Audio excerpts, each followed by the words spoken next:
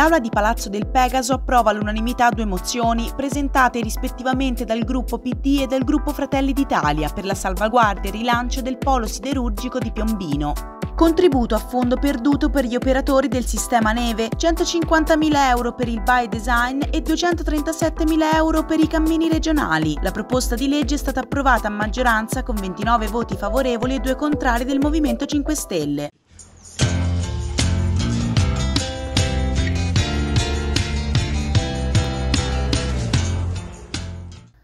Per la salvaguardia e rilancio del polo siderurgico di Piombino, l'Assemblea ha votato all'unanimità due mozioni, una presentata dal Partito Democratico e l'altra dal gruppo Fratelli d'Italia. Come spiegato dal primo firmatario Gianni Anselmi, l'atto non si occupa di siderurgia in quanto tale, ma di tutte le attività economiche che si intersecano con essa, per una visione complessiva di un comparto che riguarda non solo la Toscana ma l'Italia tutta. Da qui l'importanza di intervenire sul risanamento ambientale, sui temi infrastrutturali e sulle relazioni con il porto, sul ruolo del demanio e soprattutto sulle opportunità per i lavoratori, così da rileggere e qualificare un sito industriale che insiste su 900 ettari di territorio, ha sottolineato il consigliere. Il destino del polo siderurgico è il perno intorno al quale in realtà fa ruotare tutta una serie di questioni che dopo alcuni anni di chiara difficoltà credo debbano essere portate ad una soluzione, comunque avviate ad una soluzione, a un punto di svolta, anche profittando della volontà manifestata dallo Stato di entrare nel capitale della società, delle risorse del Piano Nazionale di Ripresa e Resilienza che vedono anche nella riconversione dell'industria pesante, della, sua, della transizione ecologica dell'industria pesante,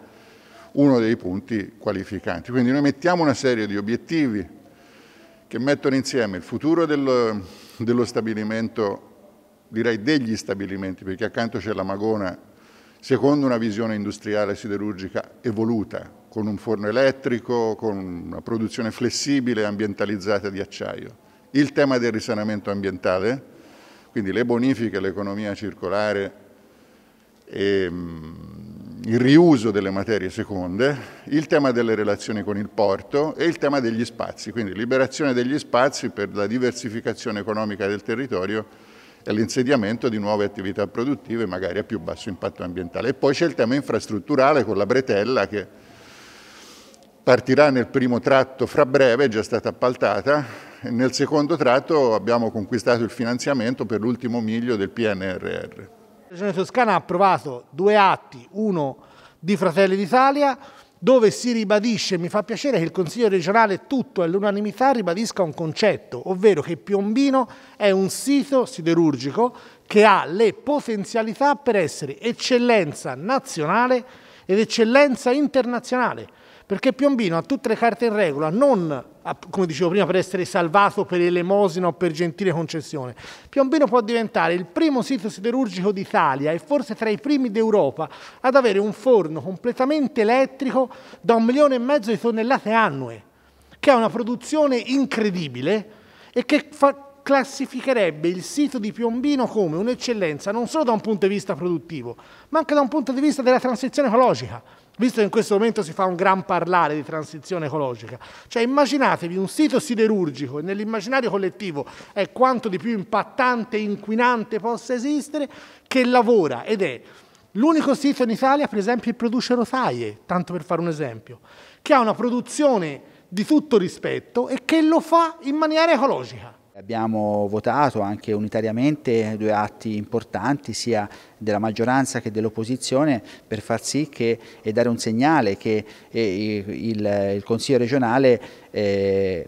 spinga affinché eh, il governo trovi una soluzione adeguata. Questo credo che eh, sia necessario anche con un tavolo che comprenda tutte le eh, amministrazioni e eh, i vari ministeri interessati. Chiaramente in questo anche il Comune di Piombino sta svolgendo una posizione, una parte molto positiva con l'attuale pianificazione urbanistica e il piano strutturale che sta ponendo in essere. La situazione è difficile ma nelle mani della nostra Vice Ministra Todde che nel Consiglio aperto a Piombino il 14 settembre ha annunciato l'ingresso dello Stato con Invitalia nella questione delle acciaierie di Piombino, perché lei stessa, come ha condiviso con me in alcuni incontri che abbiamo fatto, è ben consapevole della rilevanza del sito di Piombino per l'acciaio e pretenderà per esso la stessa attenzione che è stata dedicata al sito di Taranto. Quindi eh, massima attenzione ancora del Governo e del Movimento 5 Stelle, siamo costantemente in contatto con la Vice Ministra per arrivare a una soluzione positiva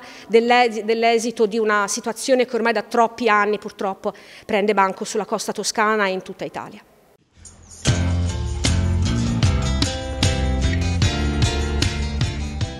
Tre interventi a favore del sistema economico toscano a sostegno di imprese e comparti più colpiti dall'emergenza da Covid-19. Il primo a favore degli operatori del sistema neve, poi un contributo straordinario per il progetto By Design e infine risorse per la completa realizzazione degli interventi di miglioramento nella fruibilità dei cammini regionali. La proposta di legge è stata approvata a maggioranza con 29 voti favorevoli e due contrari del Movimento 5 Stelle, dopo essere stata illustrata in aula dalla Presidente della Commissione Sviluppo Economico Ilaria Bugetti. Si tratta tratta di una norma che abbiamo accelerato poiché in particolare sul sistema neve dove si stanziano 800 mila euro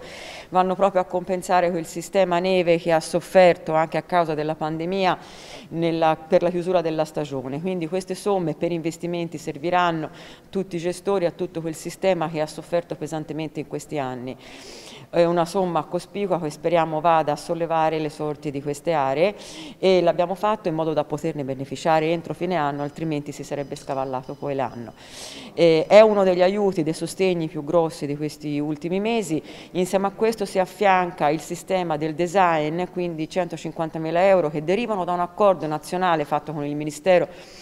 degli affari esteri con il sistema delle camere eh, estere con l'Università eh, di Architettura di Firenze e sono risorse che serviranno per l'internazionalizzazione, quindi individuando un centro che fa da incubatore, una sorta di incubatore per tutte le aziende sull'internazionalizzazione legata appunto al design e al sistema del mobile. L'ultimo eh, ambito in cui abbiamo stanziato le risorse sono circa 230 mila euro, si tratta dei cammini. Erano risorse che erano rimaste parzialmente utilizzate, quindi c'era necessità da parte di molti comuni di avere queste risorse per poter continuare o terminare i lavori infrastrutturali, quindi si tratta sempre di investimenti sui cammini presenti in Toscana, voi sapete che ce ne sono tantissimi, che sono un settore di grande eh, risposta turistica in questo momento e che sono stati valorizzati in questi anni tantissimo dalla stessa Regione. Queste risorse consentono a tanti comuni di poter continuare questi lavori che erano rimasti appunto parzialmente eseguiti. Oltre un milione di euro di risorse importanti per i settori produttivi della Toscana e in particolar modo riguardano il settore sciistico, gli impianti, la neve ha sofferto, la montagna, il momento così delicato, 800 mila euro è uno stanziamento importante per andare a rifinanziare gli impianti, se penso anche al territorio di Siena, di Pistoia, le montagne della Toscana principali e non solo. Ovviamente risorse importanti per quanto riguarda il design, il mondo del mobile, il centro sperimentale del mobile di Poggibonsi è un'eccellenza ormai a livello nazionale, sarà volano dello sviluppo, del design, dell'arredamento per quanto riguarda la Toscana nel mondo con un finanziamento straordinario di 150 mila euro e poi oltre 200 mila euro a favore delle, dei bandi, dei finanziamenti per quanto riguarda la legge sui cammini per quei progetti che i comuni avevano presentato ma non erano stati finanziati. Quindi si tratta di un pacchetto economico di un milione di euro sul quale daranno fiato alla nostra economia toscana. Come Fratelli d'Italia abbiamo sollecitato in questi mesi, ormai da un anno, un'attenzione particolare alla montagna che ha sofferto tantissimo più di altre zone il lockdown e la pandemia, due inverni di fatto chiusi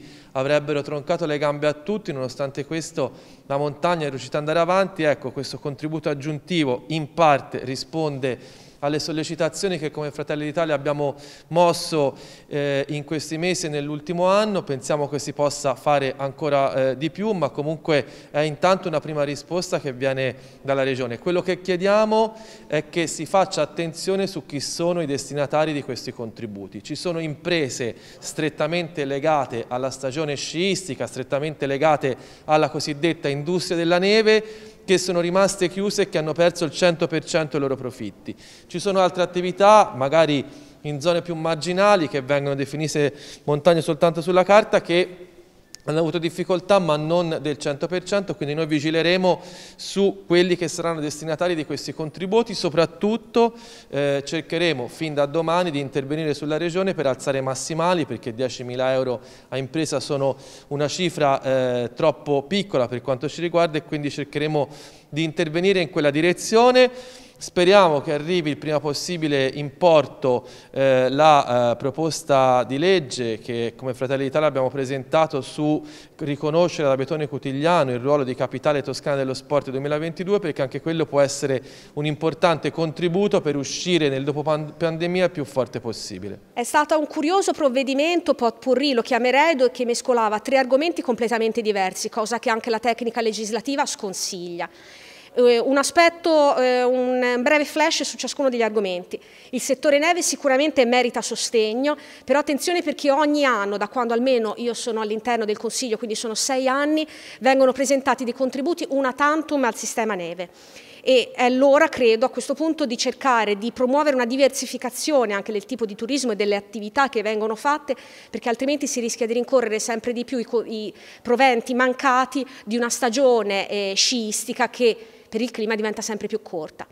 I cammini regionali anch'essi hanno ricevuto negli anni spesso dei contributi e è giusto continuare a darli perché i cammini sono sicuramente una risorsa per il turismo lento in Regione Toscana che è valorizzata, pensiamo al cammino di Santiago di Compostela, può essere una grande risorsa sotto tanti profili, però bisogna anche vedere come vengono spesi questi soldi perché appunto questo non è certo il primo contributo. Assolutamente inspiegabile il contributo al centro sperimentale del mobile eh, della provincia di Siena, 150.000 euro per un progetto di internazionalizzazione che in pratica non verrebbe nemmeno attuato dallo stesso centro ma verrebbe in pratica appalmattato all'università e soprattutto non si capisce l'arbitrarietà con cui è stato scelto di promuovere quel distretto piuttosto che altri. Cascina, la mia città e Perignano, altre zone pisane hanno dei centri di assoluta eccellenza, lo stesso posso dire di Quarrata, di mille altre attività eh, toscane di artigianato e di eccellenza da internalizzare. Internazionalizzazione che tra l'altro fa già la Camera di Commercio e fa già la Regione Toscana con le sue agenzie. Perché regalare 150.000 euro quindi a questa società che ricordo è un SRL? L'assessore non ha saputo risponderci.